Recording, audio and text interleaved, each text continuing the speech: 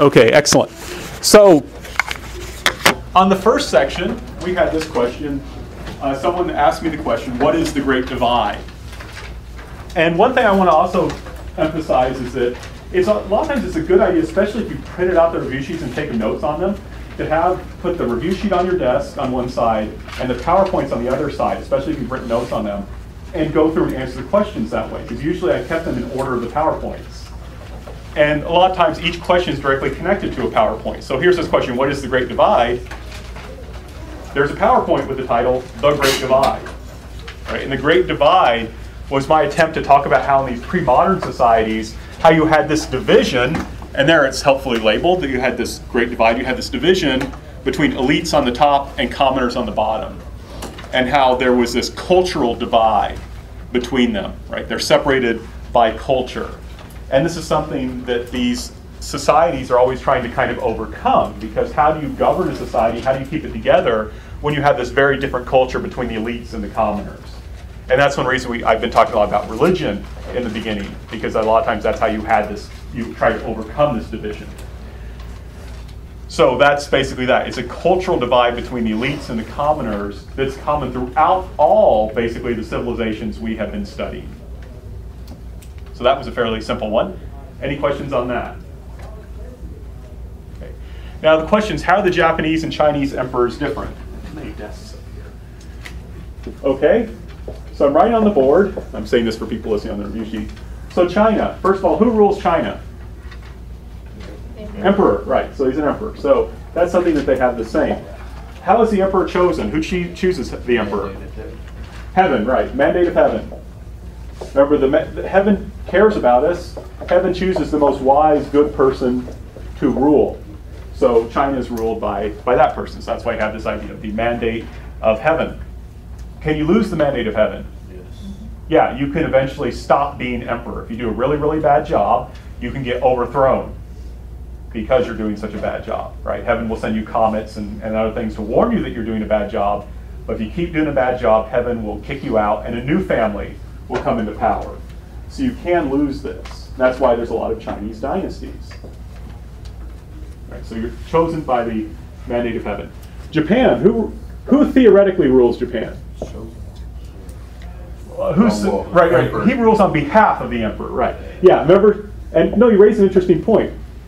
In China, we say that the emperor has a political and a religious role. Right. In emperor in China, the emperor is like a pope and a king all together. He has a religious and a political role. In Japan, it's a little different. The emperor has a religious role and this guy called the Shogun, I believe that's on the terms list. Oh, it is? Okay, thank you. That's on the terms list as well, so you want to make sure you know that. The Shogun has the political role. Remember, the Shogun's like this military dictator who rules on behalf of the emperor. So it's split. In Japan, you have two guys doing the job that you have only one guy doing in China. That's kind of an odd situation right? Why would you have this split? It has to do with who the emperor is in Japan, right? Why is the emperor of Japan the emperor of Japan? Right, he's a descendant of Amaterasu, the sun goddess, which is another term.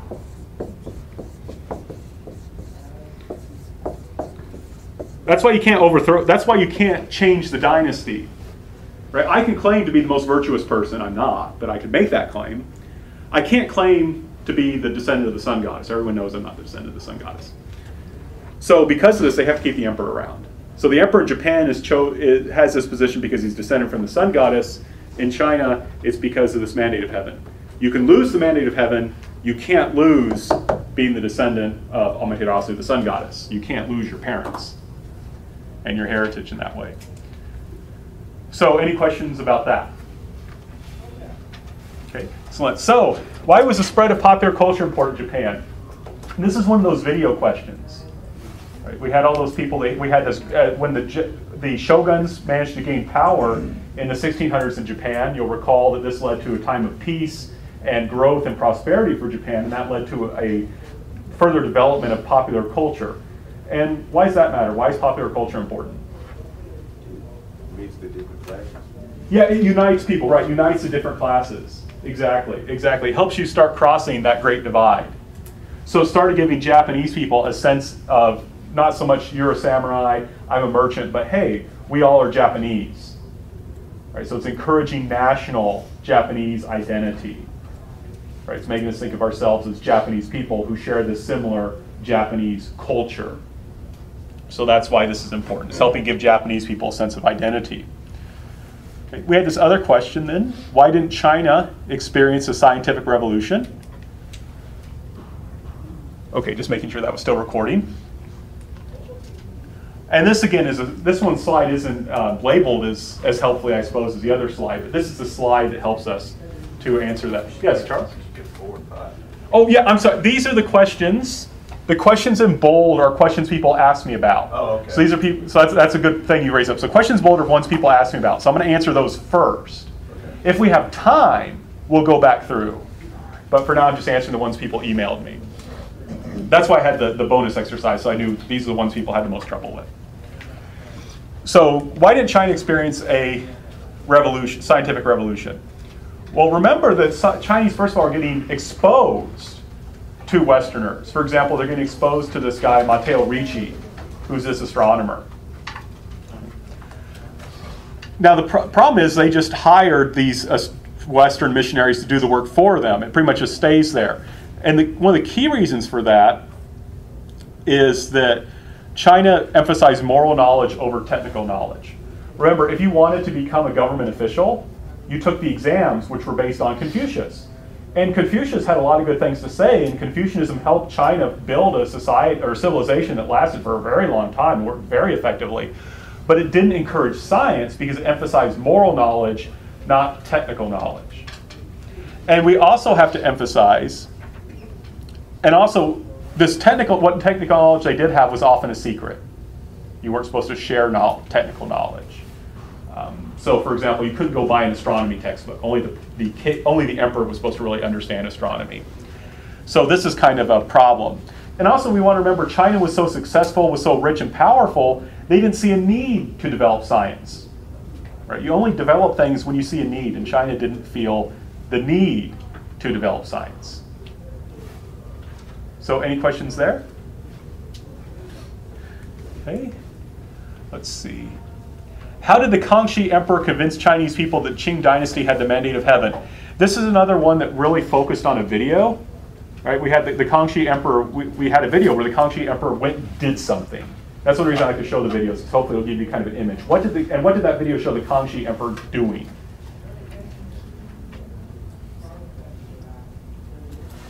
Pay respect to um, Confucius. Exactly. Thank you, Josh. Yes, he paid respect to Confucius. Right? Remember, the, the emperor of China, the most, arguably the most powerful man in the world, got down on his knees and bowed to Confucius. And so Chinese people said, aha, he's not a barbarian. He has accepted Chinese civilization. So he's not a barbarian. And if he's not a barbarian, he can have the mandate of heaven. Right? He can have the mandate of heaven. So this is important. He convinces them because he accepts Chinese civilization, Chinese culture. Okay, number nine, uh, why, despite the development of the turtle ship, didn't Korea and other East Asian countries develop more advanced military technology? We talked about in the 1590s, Japan invaded Korea in an attempt to invade China, right? They're invading, they want to invade China through Korea, but the Chinese and the Koreans work together and defeat the Japanese, and that's where the Koreans developed these turtle ships, which were, I think, pretty cool. Um, why did they stop? No. Yeah, there was no need. Or people only do things if they need to do them. Right? And after this defeat, and after, I mean, there's the, the Qing invade later, but for the most part, for about 200 years in East Asia, they're going to have peace. If you're in a peaceful situation, why would you develop, spend money and resources developing military technology? It's not necessary. In contrast, the Europeans were always fighting each other constantly. So because of that, they were always developing new military technology in order to be able to defeat their enemies. So that's important. Okay, number 10, how would you characterize Tokugawa Japan's relationship with Western countries? Why did Tokugawa Japan take that stance? This is another one I like to go back to the old PowerPoint to talk about. And this is one I think helps answer that question. Remember, the Tokugawa are suppress Christianity. Right? Japan, they say we don't want those Christians running around anymore. They're a force for instability. Right? Those Christians are all united together under the Pope. Uh, these are Catholic Christians. They may rebel against us, so we want to get rid of them. Those Christians, the, I'm sorry, the missionaries who came to those people were mostly Portuguese and Spanish. And so the Japanese said, no more Portuguese and Spanish. We don't want the Portuguese and Spanish here because they're going to try and convert people to Catholicism, and those people might rebel. So get rid of the Portuguese and Spanish. However, there was one exception, the Dutch. Now, what, why did they allow the Dutch in? They could be formed by the European country. Yeah, exactly, exactly. And so sometimes we say that Japan closed the door but opened a window. They were afraid the Europeans might try and invade them. So they wanted to have the Dutch around to give them news about Europe. They figured if the, if the Europeans are going to invade us, the Dutch will know, and then we'll know what's happening. Miss Scott? Wasn't it also because the Dutch didn't let missionaries deal with their trade? Right, exactly, exactly. Good point too. The Dutch were not Catholic; they were Calvinist Protestants, and they didn't weren't really interested in missionary work. So they promised not to convert anyone to Christianity, and they didn't really have much of an option because they all had to live on an island and weren't allowed off the island except twice a year. But good point. So, like I say, they want to keep us uh, ahead of the news. They want to know what's going on. So that's all for East Asia for now. If we have time, we'll come back. Oh, I'm sorry, that's not all. So we had this question. Some people asked about the term. So, for example, remember, Imjin is a war. That's the war, name of the war where Japan invaded China and Korea. That will, and Shogun is the title of the of the military dictator who rules Japan. Those will not. Those could be on the matching section. They will not be on the triad because they're not people's names. The um, but so the terms. Someone asked this question about Zheng He. Or Zheng He is that Chinese explorer, and I don't. Okay, here we are. I put this up. They asked about why he stopped. Right, China goes out and is spreading, is exploring. Why did he stop? Well, right, he does eventually die, but he would things. Or I'm sorry, that's a good point. I, I should say, why did Zheng He stop? Why did China stop? They conquered what they needed, what they wanted to, until there was everyone going forward with it. Mm-hmm. Right. Yes. It's Emily. Yeah. Okay. Yeah. Excellent. Excellent. Right. They accomplished what they were trying to do. Remember, they were trying to obtain tribute. They wanted to get. Um, they brought in all these people from outside the country to come in, uh, Indians, Africans, and they came in and they kowtowed to the emperor. They bowed to the emperor and said how great the emperor was. And other Chinese people said, "Wow, we have a really great emperor. He must really have the mandate of heaven." And once that was done, why would you need to do it anymore? So that was one reason. Remember, also, they were focused on the north. They were afraid that people from the north, Mongols or the Manchus, were going to come in and invade them. So they focus on building up the Great Wall. Can't spend money on expeditions when you're spending money to defend yourself. And remember, when the Ming dynasty is overthrown, it's those people from the north who are actually going to do it. So that the Chinese were, were uh, correct here in their concern. There was also fear, just like the Japanese had, that bringing in Westerners and Western ideas and, and so forth, or, or bringing in foreign ideas, could be lead to instability.